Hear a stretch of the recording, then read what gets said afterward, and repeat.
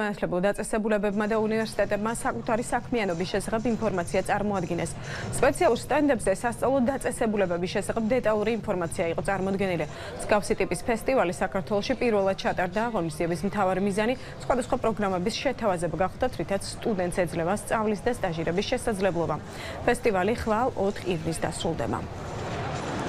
თბილისი მოლში ტარდება საგანმანათლებლო ფესტივალი, სადაც მონაწილეობას იღებენ სხვადასხვა სასწავლო დაწესებულებები.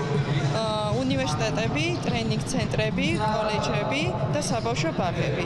ასევე ორი ორგანიზაცია, რომელიც თავაზობს სტუდენტებს ტრეინინგს და ასევე სტაჟირებას. ეს ფესტივალი ხელს უწყობს დაინტერესებულ პირებს, რომ გაეცნოს სხვადასხვა სასწავლო პროგრამებს. 17 წლის 3 და 4 ივნის მედიაკოს ორგანიზებით თბილისი მოლში გამართა EduFest 2017, რომელშიც მონაწილეობა მიიღო კავკასიის საერთაშორისო უნივერსიტეტმა.